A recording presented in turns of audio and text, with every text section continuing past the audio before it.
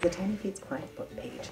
This one is called The Whiteboard, and it comes with a dry erase marker. There, uh, comes in all different colors, and you use the dry erase marker to this one is the letter tracing activity. So A, B, C's. It has the entire alphabet, A to M on this first page. I don't know if you can see that there. Uh, but the neat thing about this page is you can also change out the activity cards. So this one here is the alphabet, A to M, and then on the back side is N to Z.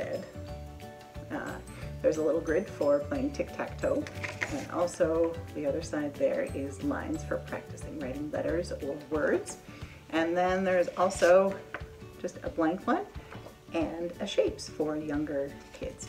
So they all stay, they're just card inserts. They stay tucked inside here, like that. And then you can use this little felt dot to erase and try again.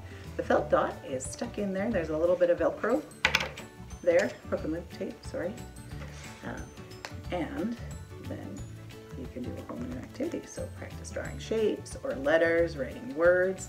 There's so many things that a kid can do with this fun page. It'll keep them entertained for a long time. See, I'm having a hard time stopping too. Um, and then you can erase there. I find sometimes if you leave it on for too, too long, like a couple of months, I had a sample downstairs, uh, and some of the ink stayed dried on there, I just put a little bit of orange cleaner on uh, and it cleaned right up, um, clear again.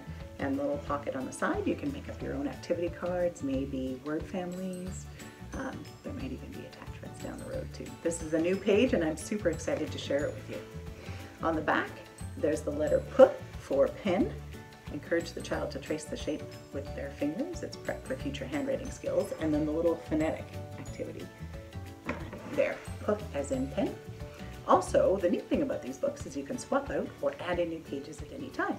So uh, you just thread the new activity pages. As the child grows, you can add in new, more challenging activities or share activity pages between siblings. Um, I just did a book with a set of, for a set of twins, uh, and they were each different, so they can swap out the pages. It's kind of neat. All the books come personalized with the child's name on the cover, and you get to choose your cover color, blue, aqua, or pink. You can find them all at tinyfeats.com.